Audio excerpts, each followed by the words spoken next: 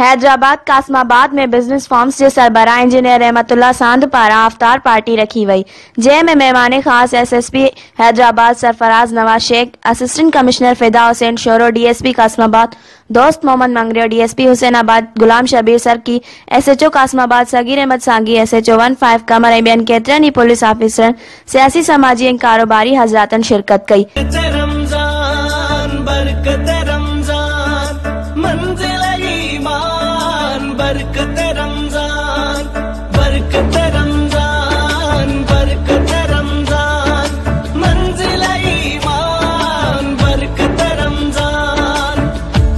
چلے گئے سجود میں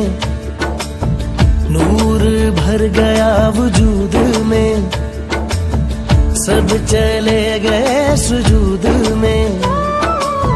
نور بھر گیا وجود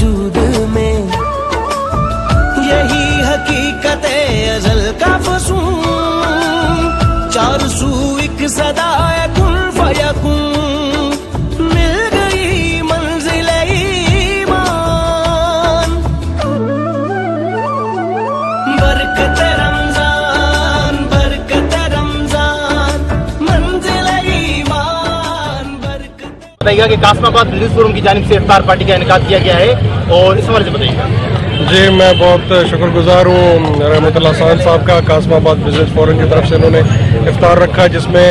اس دفعہ نہ صرف پولیس کے افسران ہیں، بلکہ ہمارے جوان بھی ساتھ تھے، سارے جوان ان کے ساتھ بیٹھ کے ہم نے روزہ افطار کیا ہے اور بہت اچھا لگا ہے۔ یہ عوام اور پولیس کے بیچ میں رابطے کا ایک طریقہ ہے۔ ہم ساتھ بیٹھ کے افطار بھی کرتے ہیں اور ساتھ ہم اپنے پولیس کے جوانوں کو بھی یاد ہی رکھتے ہیں ان کو بھی ساتھ رکھتے ہیں۔ جو ہمارے لیے روڈوں پہ یہاں پہ ڈیوٹی کرتے ہیں ہم ان کو یہ